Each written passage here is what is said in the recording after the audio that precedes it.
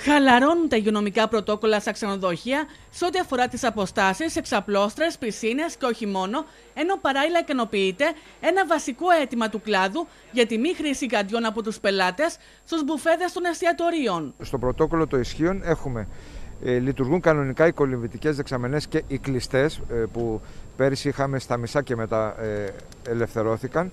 Έχουμε παντού λιγότερα τετραγωνικά. Στις ε, πισίνες πέρυσι είχαμε ένας κολυμβητής στα 5 τετραγωνικά, τώρα έχουμε ένας στα 2,5. Βλέπετε πολύ μεγάλη ελάφρυνση.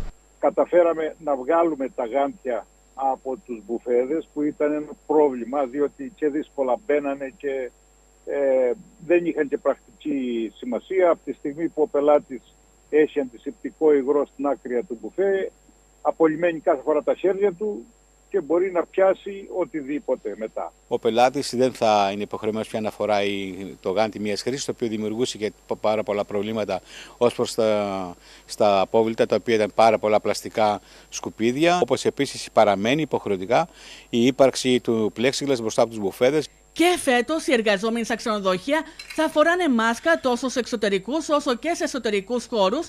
Ωστόσο, αλλαγές έρχονται και στις υπηρεσίες ΣΠΑ στα ξενοδοχεία. Μια πολύ σημαντική αλλαγή είναι και η χρήση των ε, υπηρεσιών του ΣΠΑ, ε, χαμάμ, γιακούζι, κλειστές πισίνες θερμενόμενες, όπου εκεί θα πρέπει ο πελάτης 48 ώρες μπροστά να κάνει ένα τεστ PCR ή ένα self-test και να μπορέσει να κάνει χρήση ε, αυτών των ε, υπηρεσιών, το οποίο είναι μέσα στο ξενοδοχείο. Αυτή είναι μια πολύ σημαντική. Κάτι που δεν γινόταν δηλαδή πέρυσι; Ούτε πρόπερση. Επίσης, αφαιρέθηκε το PLF, το οποίο είχα εξηγήσει προσωπικά ο ίδιος στον Υπουργό, στον κύριο Κικίλια, κατά τη διάρκεια της έκθεσης του Παρισιού πέρυσι το Σεπτέμβριο. Το εισηγηθήκαμε και έγινε πράξη. Στους λοιπούς εξωτερικούς χώρους και εκεί έχουμε ελάφρυνση.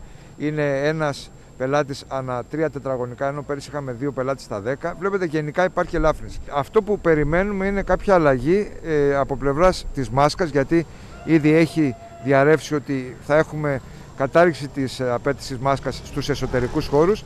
Το ΕΡΟ και τα ξενοδοχεία θα είναι ένας τέτοιος χώρος που δεν θα απαιτείται να φορούν μάσκα.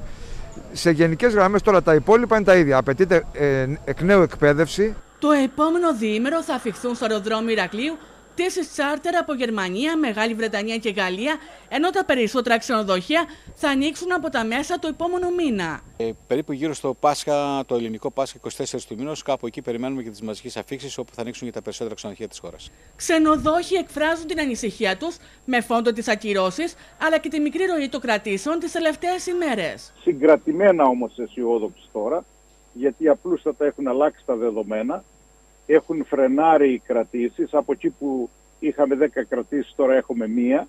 Από όλες τις χώρες έχουν φρενάρει